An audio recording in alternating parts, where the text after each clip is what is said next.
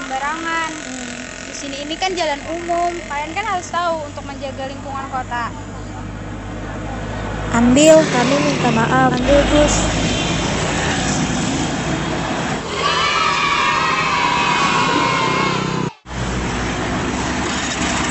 silahkan